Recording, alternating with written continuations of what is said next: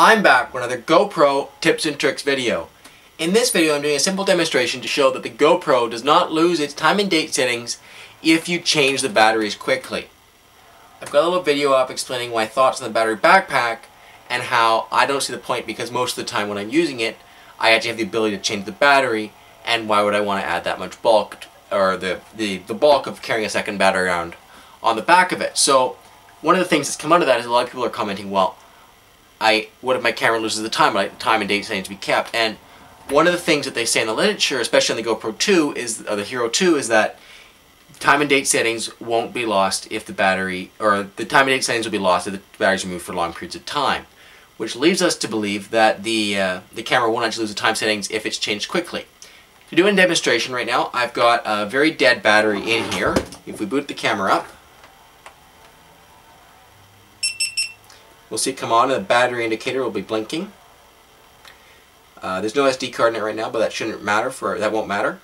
We'll scroll through settings, more, and then we get our time and date settings. So it's currently the 8th month, it's the 28th day of 2012, and it is 4 07 and that is the current time and date. So right now the time and date is set properly. We'll turn the camera off. I will flip it over. Pull the back off.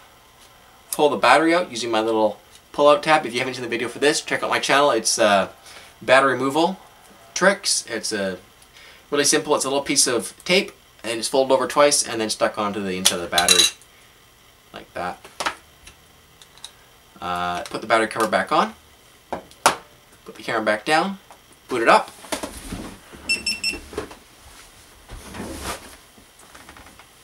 And now we see it still says no SD. There's a little bit more charge in this battery.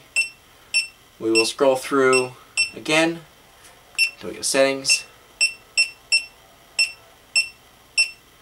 And more again. And then we see the time and date is still correctly set. Now it's 408, but the time and date has been saved. So we are actually able to change the batteries, change the, the batteries in the camera without losing the time and date settings.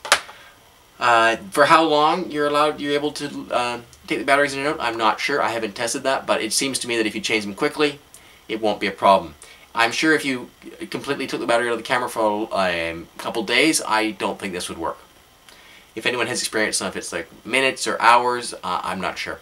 So guys, that was a quick demonstration showing that you can actually change the batteries in the camera without losing time and date settings. I hope you enjoyed it. Make sure you check out my channel for more videos, subscribe, and till next time guys, thanks for watching.